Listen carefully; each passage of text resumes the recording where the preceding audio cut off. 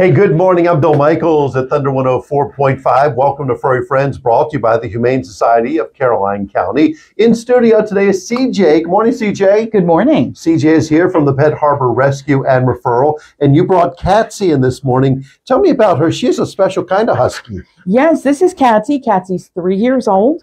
Uh, she is black and white with the beautiful blue eyes. Yes. And she's what's called a woolly, which means she's a long haired husky. Um, one of the things that's really important to know about Katsi is that she requires grooming. Yeah, and this time of year, she's blowing hair. She is. Uh, she is blowing her coat. So as you can see here in the studio, we've got a little bit of hair. So that that's normal though, and that that's part of ha- being a woolly. That is correct. It's part of being a husky, actually.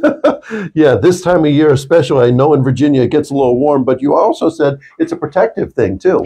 It, it is. We don't ever want to shave a husky because this protects her from the UV rays, um, and it also helps her keep her heat regulated. So Such Um, a sweet girl.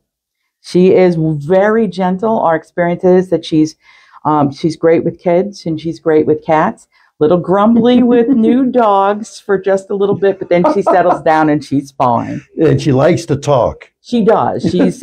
I'm not sure we're going to get her to talk right now What are you because doing? she's she's settling in. She really likes you. Yeah, she's a good girl. what do you think she weighs? About Uh, she's about 45 pounds. 45, really? Yeah, she, she, she 50. I think about 50. She she looks bigger because of the hair. Oh, okay. So this is Katsi. What a pre- look at those gorgeous blue eyes. Oh my goodness, Katsi.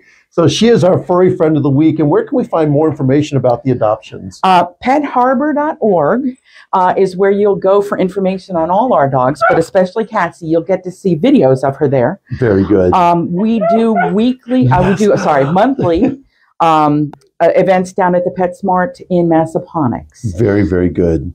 Oh, Katsi is such a sweetheart. If you have room in your life for Katsi, such a wonderful girl, she will have all the information up on our Facebook page, and you can check out Pet Harbor's website as well and learn more about Miss Katsi.